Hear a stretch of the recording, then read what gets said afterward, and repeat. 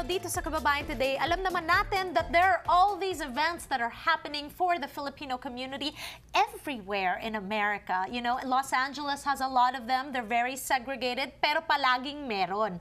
Now, the question is, how do spaces like these events represent the diversity of cultural expression for us Phil-Ams? Uh, JP, let's start with you. Well, I'll say that just um, reflecting on my first time going to one, it was so transformative to see, um, again, just the different facets of our community performing, not only just performing, but also um, selling their goods. Yes, the vendors. Exactly, exactly. Seeing the independent booksellers. So all of that, I think, is, again, such an eye-opener for second generation folks like me who grew up in very multi-ethnic neighborhoods, but not with a Filipino-American community. Mm -hmm. These events are happening all over town. Napakadami, diba? Uh, you can't possibly go to everyone, you know know, so uh, Carolina, what have you uh, been to? What events have you been to that you uh, oh. enjoyed or have brought your family along well, to? festivals, there's restaurants, there's parties, mm -hmm. there's national, national like statues, the Rizal statue in Carson.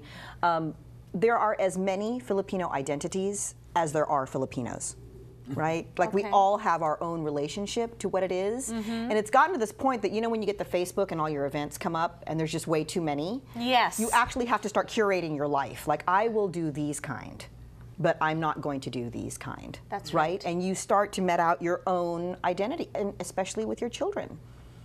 You know, that these are the activities. This is how we participate. So um, it, it's, it's really part of um, I'm, I'm afraid to say this horrible academic word, but it's this idea of this postmodern mm. condition. I know, Carol just like winced, but it's the fact that identity is kind of it's imploding and exploding at the same time. That's right. Yeah, yeah. Right? And with that comes this very anxiety inducing, I want to know what Filipino is. Well, mm -hmm. that's like trying to make a hard-boiled egg out of scrambled eggs. It's over.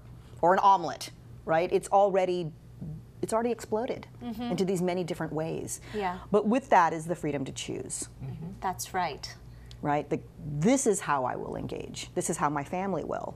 Yes. And then who knows what my kid will do, but you know. Right, but it's important that at least we expose them right. to and it. they're there. Yes. Yes. Right. Uh-oh. Uh, Carol, what about you? The spaces mm -hmm. for um, cultural expression? Well, in addition to the PCN, mm -hmm. which I support, um, and where my son, uh, mm -hmm. Daniel, performed. The FPAC, the Festival of Philippine Arts and Culture, has been around since 1992, uh, starting at LACC. Yes. And I've, I've been taking my kids since they were babies.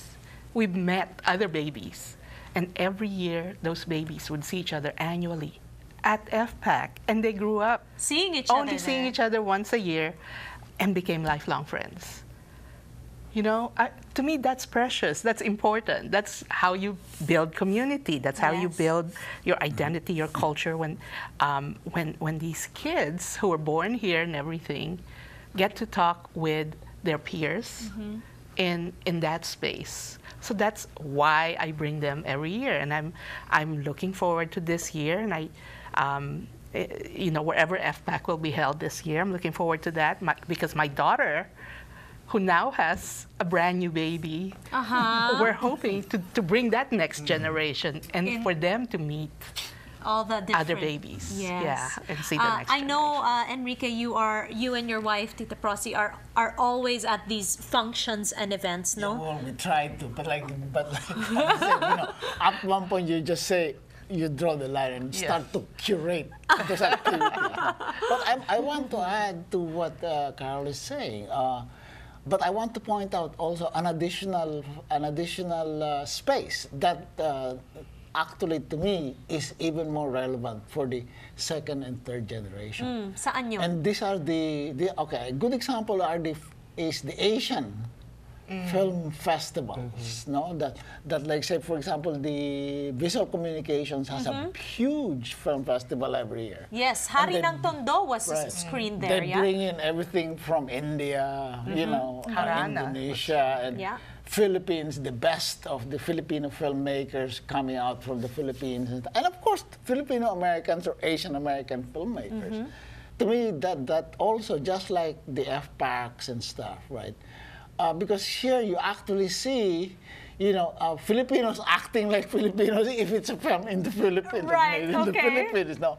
And so, and and not just that, because it is curated to be uh, for a broader audience. Uh-oh. And so it, it they they can they they, they, they so-called your native-born Filipinos Mm-hmm, here in America can see it and say, oh, that's what it is. No, Yes, and what it is." understand And that begin to culture, right? right. Uh, through film, through dance, through art. This is how we are able to sort of discover what it means, right?